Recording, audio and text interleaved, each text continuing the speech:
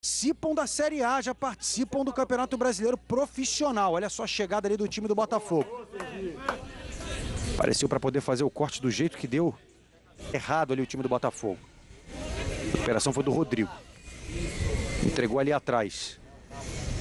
O sub-20.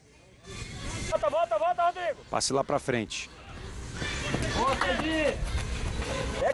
Provavelmente daqui uns minutinhos vai ter uma parada técnica aí devido ao grande calor aí, 33 graus, mas a sensação térmica aqui no campo é muito maior. Destindo ali na boca da pequena área, apareceu para cortar a zaga do Botafogo outra vez com o alemão. Vai pelo atalho, Sá. Vai pelo atalho, Sá.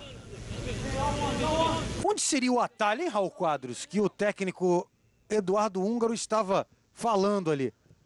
É, só ele sabe, né? Vai pelo atalho Sá. Tá chamando aí o Sassá. Agora vem, o- vem o Sassá. Não foi pelo atalho, né? Certamente, porque apareceu ali para fazer o corte o Leilson. Muito isolado na frente, tá? Operação do Ulisses. Olha o Botafogo chegando. Vitinho. Conseguiu passar. Entrou ali para poder fazer o corte o Renan. Ou melhor, tentar o cruzamento. Parou, olhou para fazer o levantamento ali para dentro da área. Mergulhou a zaga do Atlético para tentar fazer o corte. De novo o Vitinho para o Fabiano. Outra vez com o Vitinho. De novo na linha de fundo. Apareceu para fazer o corte mais uma vez. A bola bateu, ficou respingando ali na frente dos zagueiros do Botafogo. Agora sim eles conseguem cortar.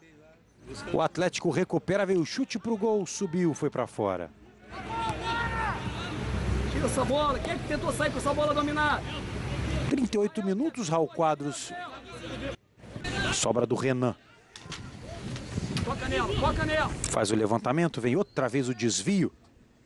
Só que a bola não chega até o Elton. Ulisses foi quem cortou. Sai do centro pro lado. Outra vez o Marco Túlio. E o Coutinho grita uma barbaridade aí com o time do Atlético Goianiense.